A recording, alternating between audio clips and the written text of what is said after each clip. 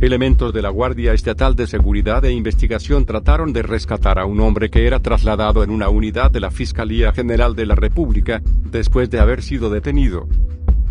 El hecho causó un enfrentamiento entre agentes de ambas corporaciones afuera de las oficinas ubicadas en la avenida Abelardo Rodríguez en la zona Río en Tijuana.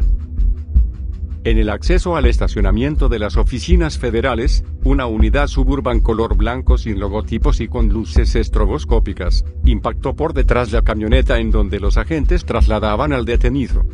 Los de la suburban le exigieron a los federales que mostraran la orden de aprehensión y trataron de quitarle al detenido, contó de forma anónima un federal que estaba afuera de las instalaciones al diario Milenio. También llegaron decenas de patrullas de la GESI, quienes descendieron con el fin de ayudar a sus compañeros, pero del edificio salieron más federales y se hicieron de palabras y hasta golpes.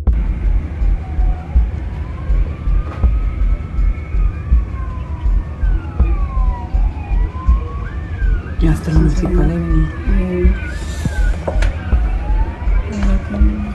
O sea, como que son malandros y los están como rescatando. Parece. Como la pet, pet dice el-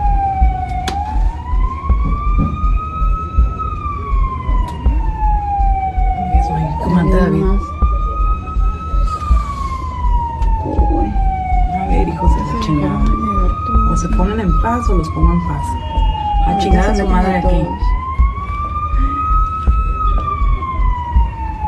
Y es que está canijo que pongan. Sí, ¿cómo hacen eso todos? Ay, Dios mío, si no se agarran a balazos aquí. A chingar a su madre aquí. Ábranse de aquí. Clave 5. Qué vergüenza, policía con policía. No. Ahí está, mira, a este le encanta el pleito. Ve nomás. Al, ¿Cómo se llama el morenito? ay.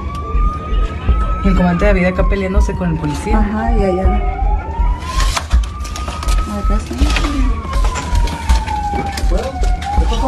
Pues están agarrando madrazos entre todos, policía estatal y la nuestra. Como que traían unos mañosos. Por los Que los quieren, los quieren agarrar. Los estatales.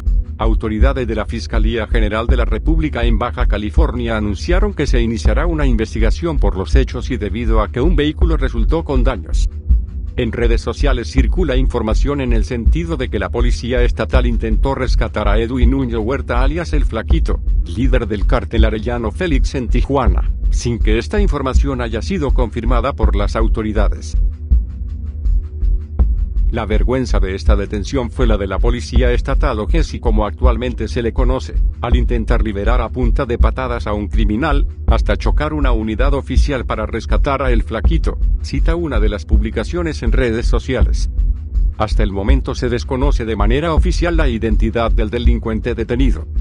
Lo que sí es oficial es que los elementos de la Guardia Estatal de Seguridad e Investigación trataron de rescatar a un detenido, confirmaron medios locales.